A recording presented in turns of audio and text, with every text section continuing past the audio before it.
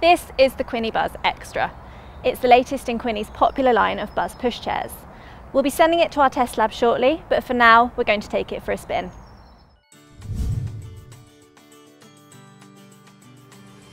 Which members can log in to see the full length video of our expert first impressions, or you can carry on watching for a quick look at it in action. The Quinny Buzz Xtra is a travel system priced from around £450. While the three wheel design makes it ideal for zipping around town, Quinny also describes the Buzz Xtra as an all terrain pushchair, which means it should be suitable for off road action too. According to Quinny, the stroller is suitable for babies from newborn to around 15 kilograms.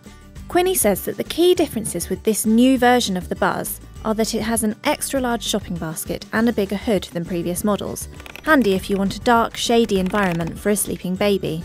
This is something we've tried out in our first look review. Which members can log in to see our full video, as well as test results for all the pushchairs we've reviewed. The best pushchairs we've found are easy to use with your baby or an older child. They're lightweight and easy to push, carry, and store. The worst pushchairs we've tested are bulky, heavy, and annoying to use. We've also found that some models that say they're suitable from birth don't actually lie flat enough to protect babies' delicate spines.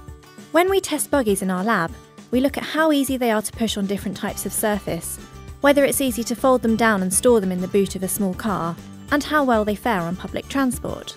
We also test how safe and durable each pushchair is, and ask members of our parent panel to try the pushchair out with their babies.